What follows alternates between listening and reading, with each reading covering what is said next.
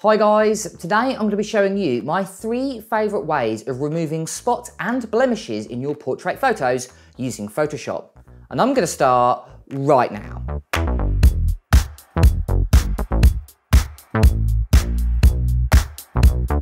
Right guys, so the first thing I want to do is just go ahead and choose a photo. And today I'm going to be working on this raw photo, which as you can see, I haven't done any adjustments so far. All I've done is just the basic corrections that you can find in the camera raw filter. So I haven't removed any spots or any blemishes whatsoever. So you can see this is the after photo, but if I just show you the pure raw photo, as you can see, I've literally just changed the basic sliders that you can find on the right hand side. Just added a little bit of contrast and just brightened the photo just ever so slightly.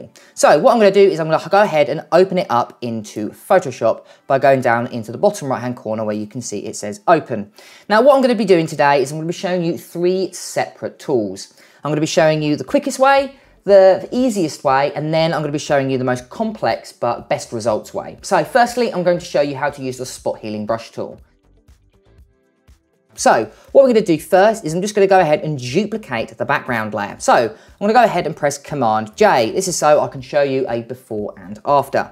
So what I'm to do is I'm going to go ahead and zoom into 100%. Now as you can see, this skin, to be honest, is fairly blemish free, but there are a few things that I would fix in this particular case. So as you can see, there are small black splodges all over the model's face, and that is just the mascara that is leaked out. Usually you wouldn't notice this, but because we're shooting on a macro lens, pretty much every single little thing is visible. So that's why the skin looks like it's got blemishes all over the place. So what I'm going to be doing using first is the spot healing brush tool. Now the spot healing brush tool is great if you're planning on doing just very quick adjustments. You're not planning on fixing the entire face, you're just wanting to fix a few spots here and a few spots there. It's not something that you can completely repair the entire face with. So how to access the spot healing brush tool. So on the left hand side here, you will find this icon and this is called the patch tool. But if you click and hold, you'll bring up a sub menu here and this is where you'll find the spot healing brush tool, the healing brush tool, the patch tool, the content aware move tool and the red eye tool. It might be named any one of these. This is kind of like a sub-selection of uh, very similar tools. So the tool we're going to be using first is the spot healing brush tool. So we'll go ahead and select that like so. Now, how the spot healing brush tool works is very similar to the brush tool, but instead of painting onto the object or painting onto that particular layer, what you're doing is you're painting and letting Photoshop create a content aware area where it will then supplement the pixels around it to replace the area that you've selected. So what do I mean in practice? So let's go ahead and zoom into an area. Now, as you can see, we've got this very large, almost little mascara splodge here. So what we're gonna do is I'm gonna click, drag and hold, and you'll create this larger gray area appearing. What Photoshop will do is it will take the contents around it and replace that area with that content. So if we go ahead and click and remove, as you can see, that has now been completely removed. And that is the premise of how the spot healing brush tool works. What it does is it just very quickly duplicates areas and replaces it within the selection that you've made. Very similar if you've ever used content aware fill, but instead you're just using it to brush the areas instead of filling them with a selection. So let's try in another area.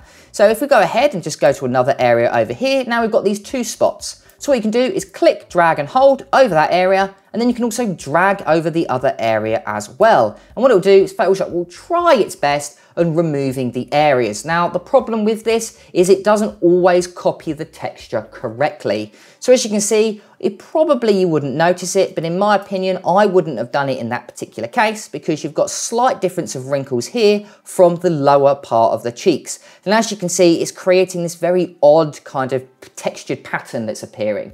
So this is where the spot healing brush tool doesn't work very well. And this is where I'd probably either use the patch tool or for instance the clone tool. But for most instances, I personally would use the spot healing brush tool because of how quick and efficient it is. But in most cases, uh, it actually works completely fine. So let's say we go ahead and choose the area down here, click, drag and hold over that area. As you can see, that pretty much worked really, really nicely. And again, we can do the same with the little mascara spot there. Uh, we can do it with a few little hairs and veins that you can see in the skin. Again, doing very small little tweaks. Again, we're not creating very, very large selections with the spot healing brush tool. If you were to do that, I definitely recommend using another tool for it. And then as you can see, we just do a little areas over here. So as you can see, very, very quickly, you can sample an area and replace it very, very quickly. So if I do the before and after, you can see we've removed all of those very fine little spots using the spot healing brush tool. But what happens if you want to do a larger area? Well, this is where I wouldn't necessarily use a spot healing brush tool and I would use the patch tool instead. Now the premise of the patch tool is basically the same, but instead you're actually dragging to the sample area you've chosen. So how can we get to the patch tool? Well, we can go back to the spot healing brush tool, so we can click and hold, and instead of choosing that, we can go three down and you can see there is the patch tool. So we'll go ahead and select that like so. So how does it work? Well, let's go ahead and zoom into the nose stud that you can see here. Let's say we want to remove it. And That's quite a large area. That isn't gonna work with the spot healing brush tool. So what we're gonna do is we're gonna click drag and we're going to circle or create a selection of that area. So we're going to go ahead and drag it and all the way around until you are happy. And then once you click away, it creates a selection. Now within that selection, it's called the patch tool, but it's actually the patch and drag tool. So what you do is once you've made that selection, you're going to drag outwards and you're going to drag to an area that you'd like Photoshop to sample. So I'm gonna go and sample up the higher part of the nose. And as you can see, that selection on the inside has changed to the selection of the new selection that you have made. And I'm gonna go ahead and click away. And once you've clicked away, Photoshop have sampled that area and basically duplicated or cloned it onto the area that you've originally selected. And all you need to do is press Command D to deselect it. And as you can see, that was actually really, really quick. And as you can see, it's completely removed it. So this works for better for larger areas. Now you can use it on smaller areas. So for instance, we've got these two spots here, or these two little blemishes.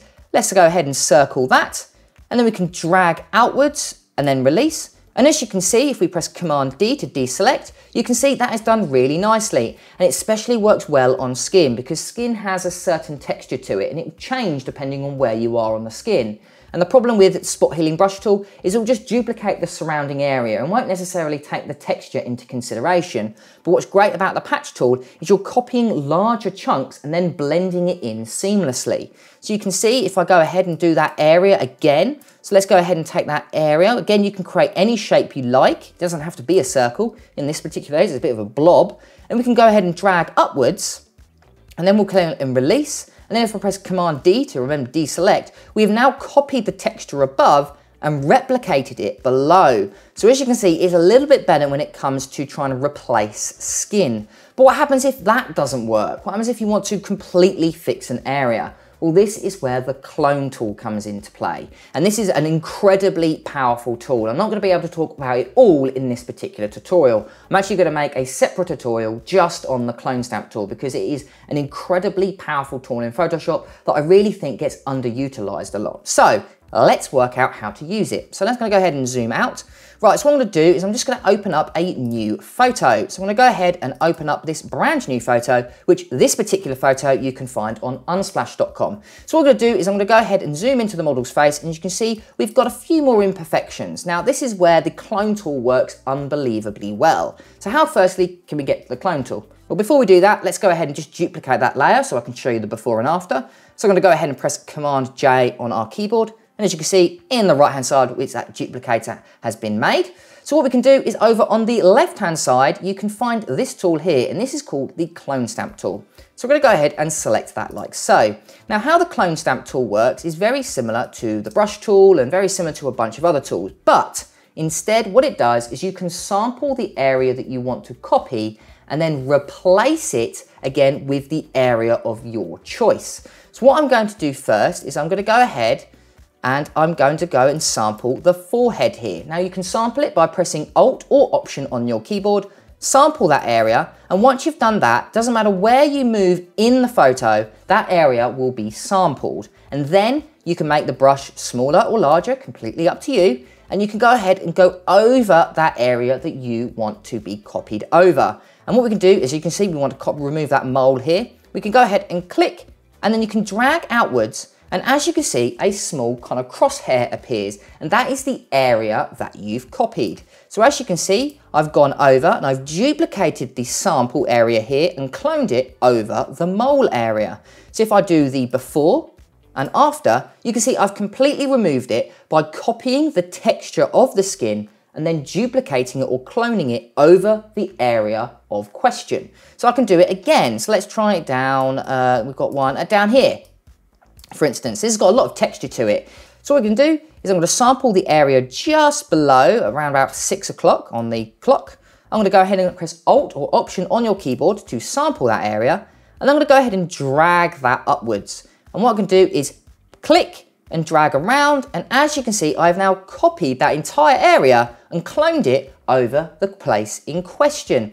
Now obviously, yes, a little bit more of a skill doing this because you need to know where to copy and where to paste on the photo for it to work. Like for instance, if I go ahead and copy this area and paste it over the eye, you can see I've completely ruined the photo. So there's a little bit of precision involved, especially if you're copying or fixing very, very large areas. And again, it really does depend in what situation you are working in. In most situations, I would probably say that the clone stamp tool is a bit overkill. And this is where I'd use the spot healing brush tool or even the patch tool. But if you're doing a bit more complex work and you really want to copy certain textures of the skin to other areas of the skin, then I'd definitely recommend using the uh, clone stamp tool because it is a lot easier to use, especially when you're wanting to really get down to the complex parts of that area. So again, I can show you just one more time. Let's say we want to remove some of the kind of uh, freckles we've got here. So I'm gonna go ahead and sample an area with no freckles. Remember, clicking on that area and pressing Alt or Option on your keyboard,